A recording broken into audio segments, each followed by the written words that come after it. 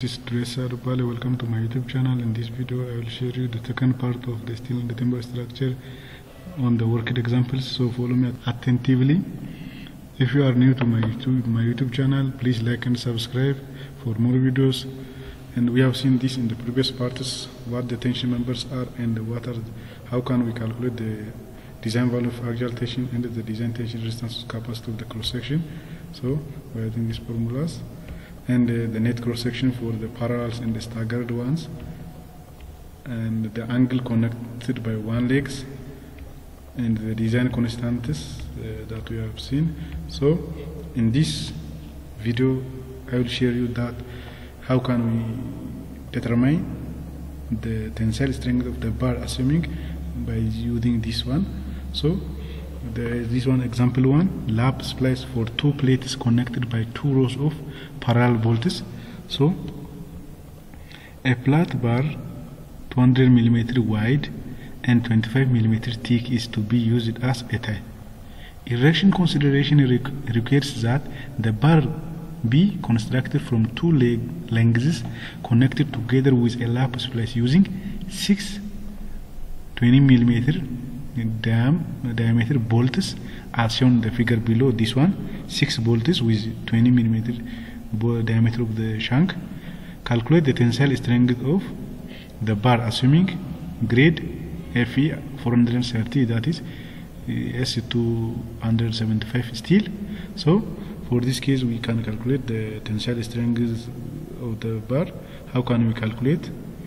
Mm, by using the formulas that I have mentioned in the previous video.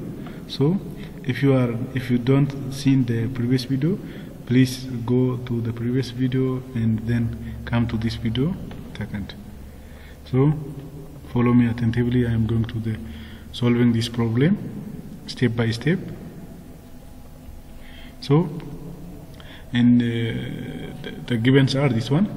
The bar width is 200 millimeter. The bar thickness 25 millimeter the bar thickness 25 millimeter and the diameter of the bolt shank 20 millimeter and the number of bolts. There are six six and the number of rows are in two rows and the number of rows are in two and the ultimate strength of the steel is 430 newton per millimeter square or pascal kilopascal megapascal yeah megapascal. Yield strength of the steel 275 newton per millimeter square and the partial safety factor one is 1.1 and the partial safety factor 2 is 1.25 1.25 so the required is the tensile strength of the steel bar. Calculate the tensile strength of the steel bar. This is the main question that we are also we are going to be asked on the final exam. So please follow me attentively.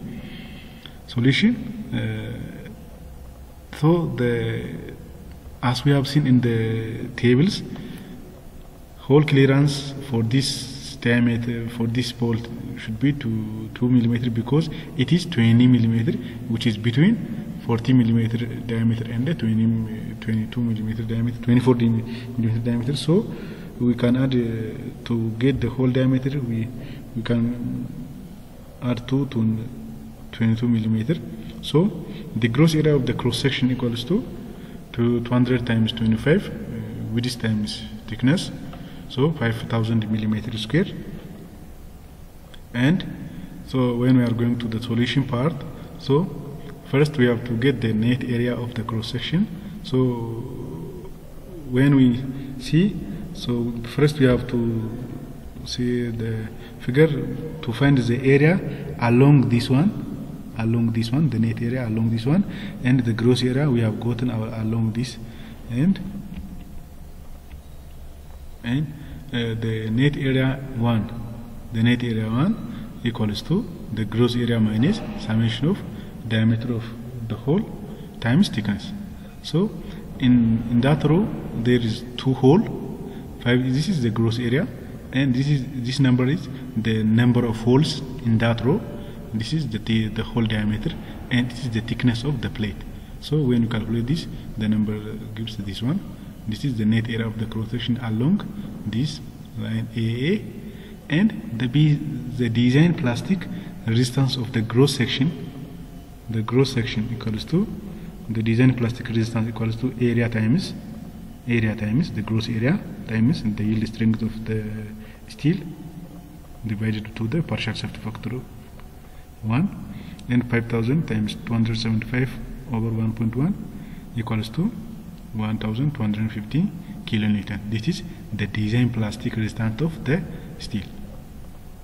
And the design ultimate resistance of the net section at the bolt hole the, the design ultimate resistance this one equals to this is the formula we have seen on the previous video 0.9 times the effective area or the net area times the yield strength over the partial factor.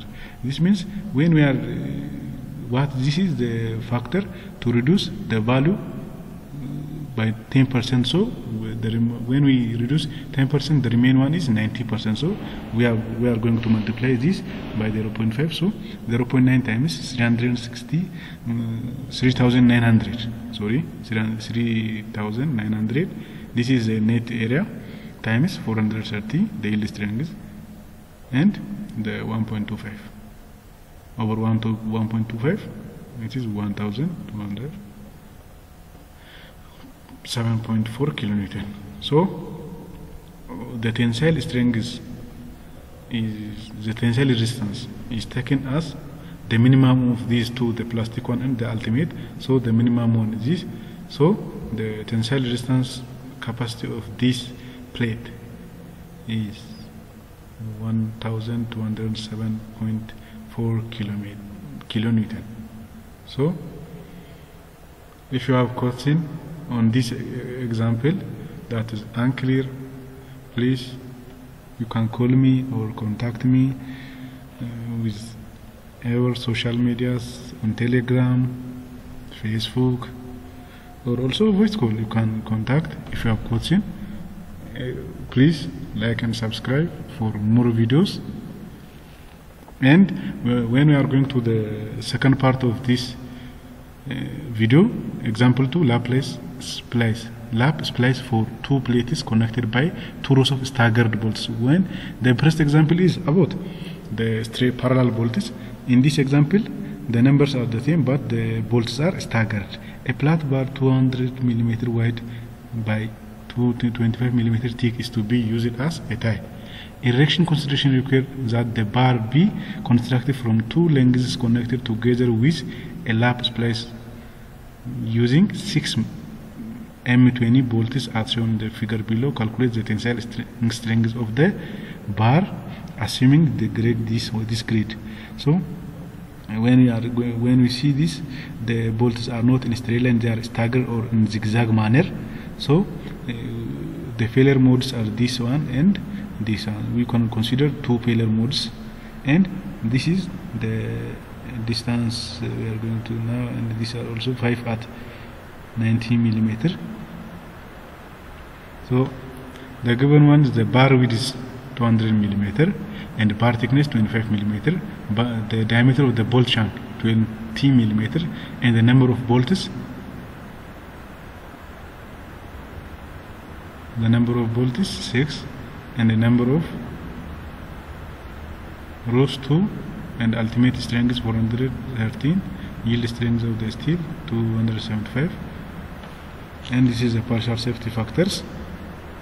And the tensile strength of the steel is the required one. So the hole clearance is 2 millimeter and the hole diameter should be 22 millimeter when we add 2 millimeter. 2 and the gross area of cross section equals to the width times the thickness so this one and the net area of the cross section along line AA so the gross this is the formula the gross area minus the this so 5000 minus this is the number of bolts the number of holes in that line uh, 25 is the thickness the hole diameter and this is the thickness it should give this and the nature of cross section along line AB that means along this one along this one so the formula is this one and when this is the gross area and this is the number of bolts and this this is it is one because the number the the, the line of zigzag, the number of zigzag lines are 1. So when we calculate this, it gives this one. So so this is the design plastic resistance of the gross section. So in this, uh, when we are calculating the design plastic resistance of the uh, steel, we are going to use the gross area. So the gross area is this one. When you calculate this it gives this one. And the design ultimate resistance of the net section at the bolt hole. This is the effective one, which is the minimum area from the native area net 1 and area net 2. This is the minimum one. And this is the minimum one. And we calculate this, it gives this one. And the tensile resistance is taken the minimum of from these two the plastic one and the ultimate one so the minimum one is the plastic this one so this is the tensile resistance capacity of the steel with the staggered bolts so this is this is about example 2 please like and subscribe for more videos. So in the next part I, will, I am going to discuss about the in the next video I am going to discuss about the example 4 and example 5 about the, tensi the tension members. So thank you for attention. Thank you for watching. Like and subscribe. Bye